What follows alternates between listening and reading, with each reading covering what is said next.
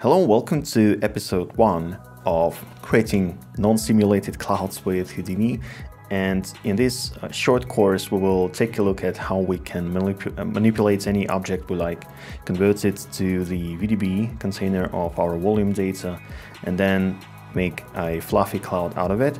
So this is going to be I think a three-part video course. So in the first one we will just talk real quick about um, how do you create, uh, how do you make basic operations with the volumes. So as you can see, I already have opened the Houdini and as per usual, press tab, start typing geometry.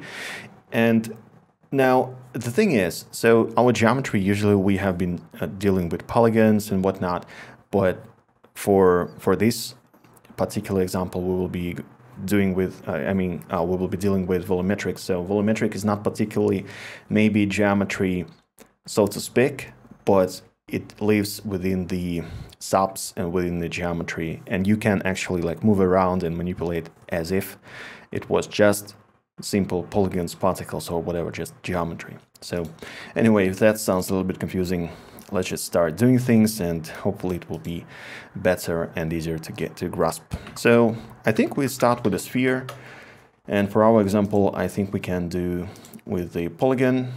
Um, so next up, I will just hover my mouse over the viewport, press the D key to get into the options.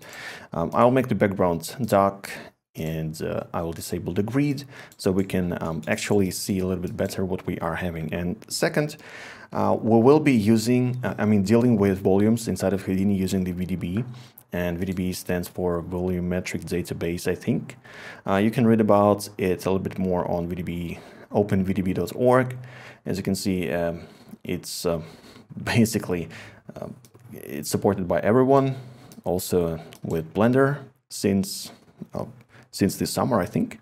So this is really useful because we will be exporting our clouds into Blender in the chapter 3 of this course. Anyway, enough talking and we can start.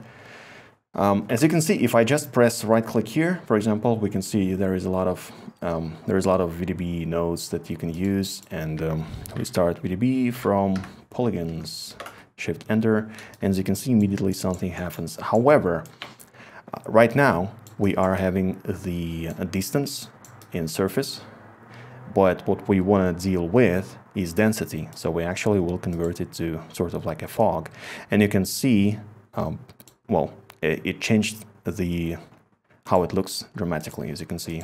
Fog, distance, it's a bit different. Now, the voxel size, uh, it um, actually shows you how detailed the VDB resulting results of your volumetric conversion from your polygons will be. So if I press the I key here, uh, for the information, you can see that we now have 4000 voxels, 21 by 90 by 29, uh, 20, 21, I'm sorry.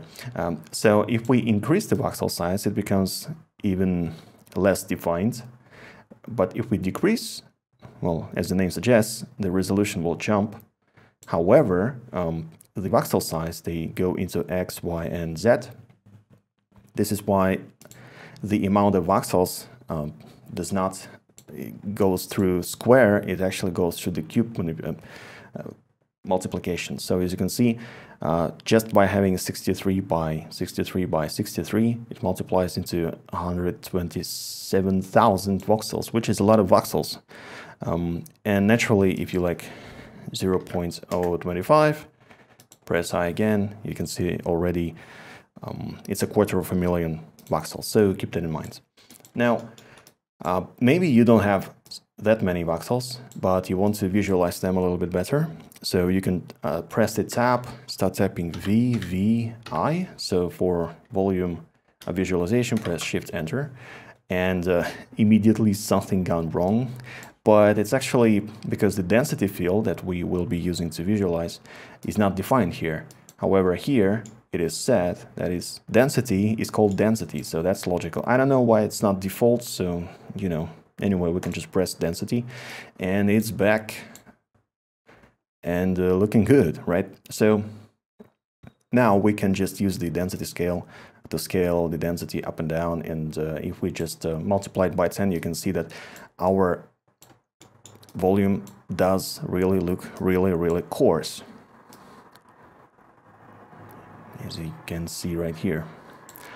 So volume visualization, it, I would not actually recommend it for using for rendering because for rendering you should manipulate the density at the shader level. However, it's useful for just viewport manipulation. All right, so what can we do with this VDB? We can convert to VDB from polygons and we can uh, convert VDB to polygons. So we'll do just that, VDB, C, um, convert VDB, Shift Enter, and we can just convert them to polygons. However, um, they will disappear because it better is is usually better working with surface. However, we can work around that by enabling the fog VDB and uh, creating the ISO value a little bit a little bit to the right, increasing the ISO value. Now, uh, if you don't fill interior, it might again look kind of weird. This looks a little bit better. As you can see, we are getting perfect quads, by the way. Now, uh, if you might have already um, guessed that decreasing the voxel size will increase the resolution of the resulting polygons, so that can be really useful. And on top of that, for example, uh, let's work with the with the um, with the box. We convert box VDB um, VDB from polygons. Enable this. Um, again, we are dealing with distance. Let's deal with density a little bit. Decrease the voxel size, and then we can VDB uh, convert. Convert VDB to polygons. Now, actually, let's work with surface uh, for this example because um, I just want to showcase you how to use the VDB smooth. VDB smooth. Okay, so uh, if we decrease the resolution of the voxels a little bit more and we use the VDB smooth, as you can see, we are, uh, we start from perfectly sharp box of any resolution you want. Then we get it to VDB, then we smooth the VDB, and we convert it back to the polygons. And by the way, we can then do the attribute smooth. Attribute, where is it? Smooth. Uh, and again, this, as you can see, it relaxes, uh, relaxes the positions a little bit. So that can be uh, really useful if you are working with some kind of tricky geometry and you want to convert it. And although now there are people that showcase that you can kind of use it to to work with even with the hard surface. I would not actually recommend doing this. And the reason for that, actually, I can showcase it. If we create a tube and we do the tube into polygon and we cap it. And by the way, you have to you have to have um, VDB from polygons. Uh, you have to have it capped. You have to have watertight geometry. Otherwise, if we don't have it, it will assume that it is infinitely thin geometry and it will not evaluate correctly. So that will not work, basically what I'm trying to say. So uh, you better have the watertight geometry to start working with it. So let's see, 0, 0 0.3 should be good. Um, so if I make the height a little bit more, and then I uh, VDB converts, as we learned before, and we convert it back to polygons, uh, this is looking, you know, reasonably, reasonably fine. However, if I transform the two before we make it into VDBs, because VDBs are actually like cubes, it's um, voxels, volumetric pixels, whatever you want to call it. Let's let's just for the sake of this uh, explanation, let's call it them little cubes uh, that form your geometry. So they go X, Y, and Z, and they go in a very orderly fashion. If you start rotating your geometry and converting it to VDB, you might uh, get into the problematic situation uh, where you will be having these type of problems with your geometry. So this will not be fantastic uh, for your hard surface, especially if you want to bake some normals from high poly to low poly. I've seen people doing this. Uh, people have been asking me about this. Uh, there are better ways of doing this and this is definitely not what you would call, I don't know, great production ready solution. Some people do this. It doesn't mean it's it's it's useful. You know what I'm saying, right? Anyway, so um, keep that in mind. Now, next up, I want to showcase. Let's press L. So we have everything, you know, ordered. Uh, let's see how we can have a have a box, have a sphere. Uh, convert them both to VDBs.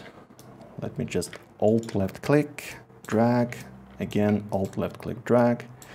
This goes here, this goes there. As you can see, we now have VDB from here, VDB from there. Now let's actually have the density. Here we have density, here we have density. Okay, fantastic.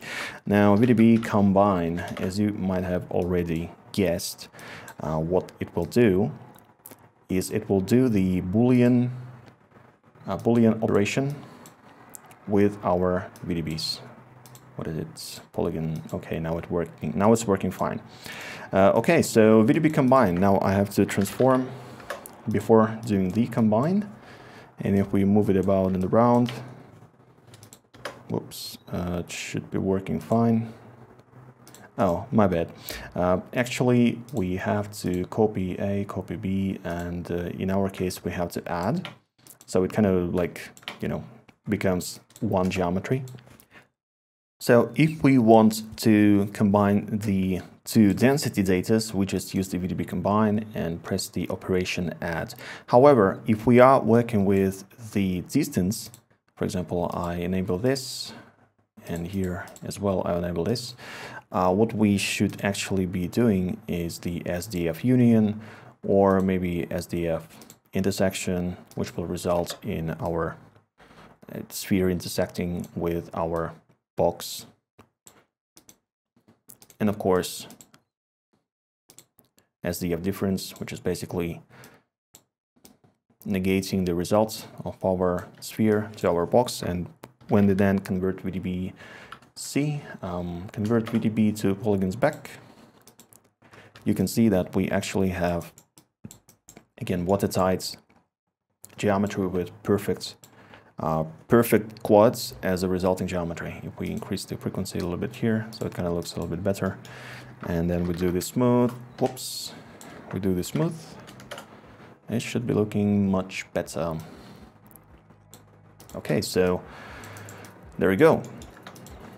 Uh, we went about how to you know use the VDBs, how to visualize the VDBs, and uh, in the next section I think uh, we will be starting to talk about how to use volumetric VOPs to manipulate our volume data just as we were manipulating it with geometry VOPs, but in our case we will be basically working with volumes.